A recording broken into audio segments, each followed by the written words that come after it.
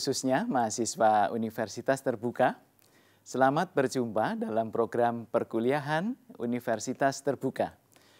Pada pertemuan ini, kita akan membahas mata kuliah Matematika Ekonomi dengan topik penerapan fungsi linier. Para pemirsa, fungsi linier itu dapat dijadikan model untuk berbagai permasalahan di dalam ilmu ekonomi ya. Misalnya untuk membahas mengenai fungsi permintaan dan penawaran serta keseimbangan pasar ya. Juga bisa uh, untuk membahas mengenai pengaruh pajak terhadap keseimbangan pasar ya pengaruh subsidi terhadap keseimbangan pasar ya kemudian ada juga uh, fungsi biaya dan penerimaan ya serta uh, fungsi untuk keuntungan, kerugian dan uh, pulang pokok atau break even point ya serta fungsi untuk anggaran ya. Nah, pertama kita akan membahas mengenai uh, fungsi permintaan, fungsi penawaran dan keseimbangan pasar ya. Fungsi permintaan itu rumusnya adalah Q sama dengan A min BP ya di mana Q adalah jumlah dan P adalah harga atau price ya.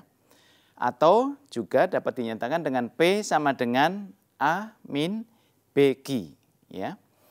Dengan A adalah suatu konstanta dan B suatu koefisien ya. Nah, bagaimanakah kurva permintaan dari fungsi tersebut? Ya, di sini kita bisa melihat uh, di dalam layar ya adanya kurva permintaan ya atau grafik permintaan ya. Di sini bentuknya adalah uh, sebuah garis lurus ya, sebuah garis lurus ya. Seperti tampak pada layar kita. Oke. Ya. Selanjutnya di sini ada fungsi penawaran ya. Dengan rumus Q sama dengan min A plus BP ya, min A plus BP atau P sama dengan A plus BQ ya, A plus BQ. Oke. Nah, bagaimanakah bentuk kurvanya? Ya, di sini uh, tampak di layar kita ya, itu adalah uh, di sini kurva penawaran ya. Silakan diperhatikan yang ada di layar kita ya. Di sini P sama dengan A plus BQ ya. A plus BQ ya. Baik. Nah, bagaimanakah uh, fungsi keseimbangan pasarnya ya? Maka di sini tentu uh, bahwa Q untuk permintaan sama dengan Q untuk penawaran ya atau D sama dengan S ya. Di sini kita lihat dalam layar ya itu uh, bagaimana kedua garis tersebut D dan S uh, itu berpotongan ya. Nah, di sini berpotongan ya. Nah, maka titik potong dari kedua garis tersebut itulah yang disebut titik keseimbangan pasar ya. Titik atau titik E ya, equilibrium ya, titik equilibrium ya. QD sama dengan QS. Nah, marilah kita coba menerapkan pemahaman ini pada suatu persoalan ya. Di sini uh, ada suatu persoalan ya, fungsi permintaan akan suatu barang ditunjukkan oleh persamaan P sama dengan 15 min Q. Ya, permintaan ya. Sedangkan penawarannya P sama dengan 3 plus 0,5 Ki. Ya. Yang ditanyakan adalah berapa harga keseimbangan ya dan jumlah keseimbangan yang tercipta di pasar ya. Jadi di sini men mencari P dan Q pada titik equilibrium atau titik keseimbangan. Nah, jawabannya adalah dengan adanya uh, persamaan tadi P sama dengan 15 min Q dan P sama dengan 3 plus 0,5 Q. Di sini maka kita uh, akan membuat QD sama dengan QS ya. QD sama dengan QS maka diperoleh 15 min Q sama dengan 3 plus 0,5 Q ya. Dengan demikian diperoleh 12 sama dengan uh, 1,5 Q ya. Maka diperoleh Q sama dengan 12 dibagi koma, uh, maaf dibagi 1,5 diperoleh Q sama dengan 8 ya. Lalu dengan P sama dengan 15 min Q, sementara Q kita ketahui sama dengan 8, akhirnya diperoleh P sama dengan 7 ya. Dengan demikian kita dapatkan suatu solusi ya bahwa keseimbangan pasar itu ada pada titik ya 8,7 ya. Jadi P-nya Q-nya 8 dan P-nya 7 ya. 8,7 seperti tampak pada gambar di layar ya. ya. Nah, demikian contoh kita. Marilah kita lanjutkan pada yang berikutnya ya, itu mengenai bagaimana pengaruh pajak terhadap keseimbangan pasar ya. Seperti kita ketahui bahwa untuk setiap transaksi ya, itu pemerintah misalnya mengenakan pajak PPN ya. Bagaimanakah pengaruh PPN terhadap keseimbangan pasar ya? Baik. Tentu ini pajak ini akan mengubah uh, keseimbangan pasar yakni pada fungsi permintaan dan penawaran ya. Jadi kalau semula pada penawaran P sama dengan A plus BQ maka di sini akan berubah menjadi P sama dengan A plus BQ plus T ya di mana T adalah pajak ya. ya. Maka di sini kita bisa menerapkan uh, persoalan ini ya dengan rumus yang ada tadi ya. P adalah sama dengan 15 min Q ya. Lalu P 3 plus 0,5 Q ya. Dikenakan pajak 3 uh, 3 per unit ya. Berapa harga dan jumlah keseimbangan sesudah pajak ya. Maka di sini kita dapat uh, menggunakan persamaan yang tadi ya karena ada penambahan pajak tiga. Jadi uh, persamaannya menjadi 15 minus Q sama dengan 3 plus 0,5 Q dengan plus 3 ya. Karena ada pajak 3 per unit ya. Sehingga diperoleh 9 sama dengan satu setengah Q atau diperoleh Q sama dengan 6 ya. Diperoleh Q sama dengan 6 ya. Lalu dengan demikian bisa diperoleh dihitung P. Ya, dari P sama dengan 15 min Q, maka diperoleh P 15 minus 6 sama dengan 9. Ya. Dengan demikian terjadi pergeseran ya. Q 6 dan P9. Ini adalah titik keseimbangan baru akibat terjadinya pajak ya di mana harga naik ya menjadi 9 dan uh, kemudian uh, jumlah atau yang ditawarkan turun menjadi 6 ya turun menjadi 6 ya. Nah inilah kita lihat di sini ada uh, grafik yang baru ya yang berwarna merah ya fungsi penawaran yang baru KID ya. Um, ya KID-nya menjadi baru ya. Seperti itu. tampak di layar kita ya. Baik. Bagaimanakah pengaruh tadi adalah pajak spesifik, kemudian ada juga pajak proporsional ya. Jadi pajak proporsional adalah pajak yang besarnya ditetapkan berdasarkan persentase tertentu dari harga jual. Ya, dari harga jual. Jadi seperti PPN itu misalnya 10% dari harga jual, ya.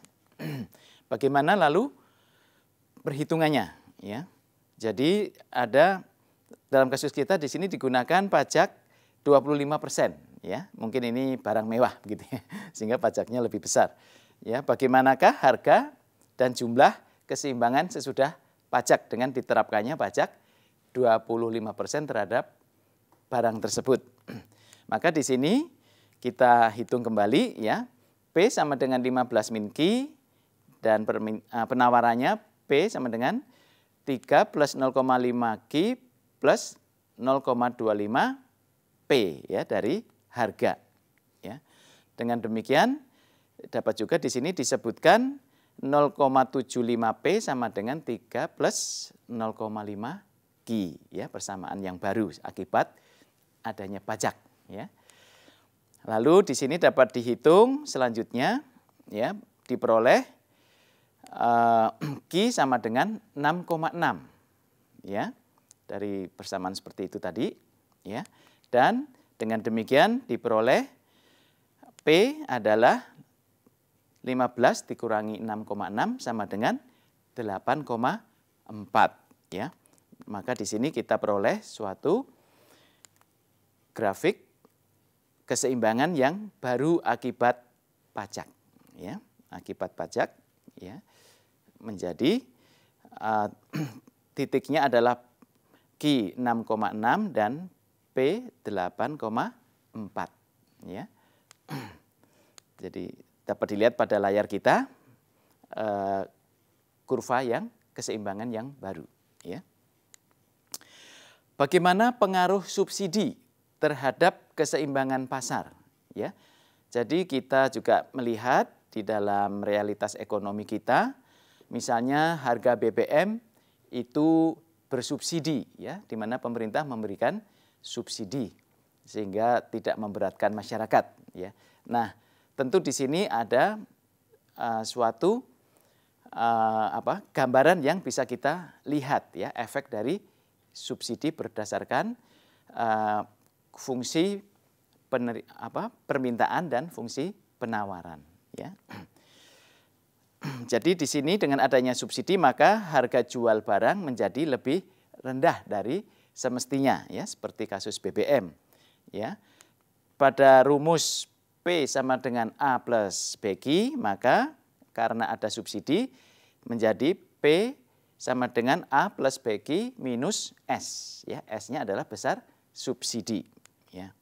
Nah, marilah kita gunakan uh, rumus ini ya dari persamaan yang sama seperti sebelumnya P sama dengan 15 min Q dan uh, penawaran P sama dengan 3 plus 0,5 Q pemerintah memberikan subsidi sebesar satu setengah ya untuk setiap unit barang yang diproduksi ya. Jadi satu setengah ya.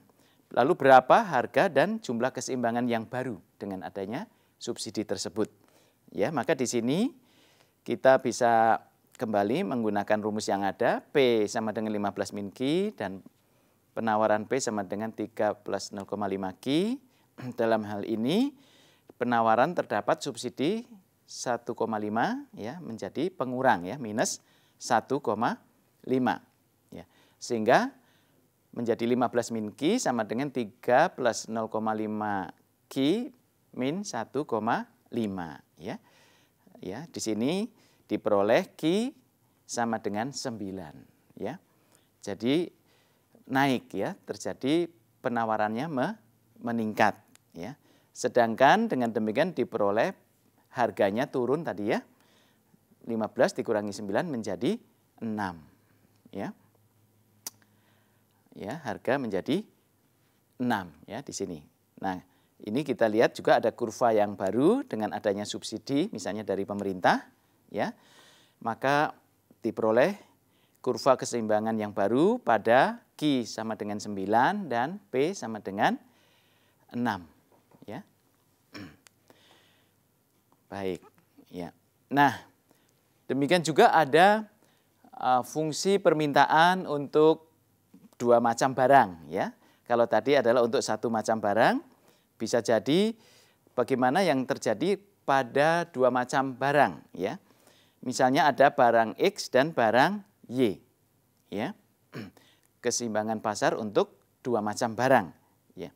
Untuk barang X maka ya PX sama dengan min A QX plus B plus PY ya. Dan PX sama dengan A QX plus B plus PY ya. Sedangkan barang Y ya silakan dilihat di layar itu PY sama dengan min A Y plus B plus PX ya. Dan fungsi berikutnya adalah PY sama dengan A Y plus B plus PX ya. Nah, ini bagaimana diterapkannya ya. Maka Q DX ya, Q D untuk barang X ya, artinya fungsi permintaan ya sama dengan 10 min 4 PX plus 2 PY ya. Misalnya ini ada sedangkan untuk penawarannya QSX sama dengan minus 6 plus 6 PX ya. Jadi PX adalah harga untuk X, PY harga untuk barang Y ya. Maka selanjutnya juga di sini ada untuk persamaan barang Y, Q DY sama dengan 9 minus 3 PY plus 4X ya. Dan Q SY ya sama dengan minus 3 plus 7 PY ya. Nah, bagaimana kita solusikan uh, persoalan yang ada itu adalah ya. Jadi maka kita buat persamaan ya. 10 min 4 PX plus 2 PY ya sama dengan minus 6 plus 6 PX ya. Dan di sini diperoleh 16 sama dengan 10 PX min 2 PY. Ya. Dan uh, langkah berikutnya keseimbangan pasar untuk barang Y ya diperoleh 9 min 3 PY plus 4P sama dengan min 3 plus 7 PY. Sehingga diperoleh persamaan kedua 12 sama dengan 10 PY min 4 PX. Ya. Nah, step yang ketiga, maka di sini kita eh, peroleh dua persamaan, 16 sama dengan 10 PX min 2 PY dan 12 sama dengan 10 PY min 4 PX. Ya. Dari dua persamaan ini kita dapat melakukan eliminasi ya. Maka di sini kita peroleh ya dikalikan 5 dan 1 masing-masing 80 sama dengan 50 PX minus 10 PY 12 sama dengan 10 PY min 4 PX ya. Nah, ini dilakukan eliminasi diperoleh penjumlahannya dengan dijumlahkan 92 sama dengan 46 PX ya. Sehingga diperoleh PX sama dengan 2 ya. 92 dibagi 46 ya. Dan kalau kita kembalikan ke persamaan awal 16 sama dengan 10 PX min 2 PY ya, maka di sini diperoleh PY sama dengan dua juga. Ya. Kita perhatikan dari tampilan di layar ya bagaimana proses perhitungannya ya. Diperoleh PX dan PY 2. Nah, dari sini kita langkah keempat adalah menghitung uh, Q ya. Jadi pada QSX kita dapat temukan ya diperoleh QX sama dengan 6 ya keseimbangannya adalah Gx sama dengan 6. Ya. Artinya kuantiti untuk produk barang X adalah 6 ya dan kuantiti untuk barang Y diperoleh 11 ya. Jadi keseimbangannya PY sama dengan 2 dan QY sama dengan 11 ya. Dan PX sama dengan 2 dengan QX sama dengan 6 ya. Ini adalah uh, hasil dari perhitungan kita ya. Silakan sambil dilihat pada tampilan di layar ya. Baiklah uh, para pemirsa, khususnya mahasiswa universitas terbuka di mana pun Anda berada, ya. Sampai di sini perjumpaan kita kali ini. Semoga tayangan ini bermanfaat bagi Anda. Ya. Selamat belajar dan sukses selalu.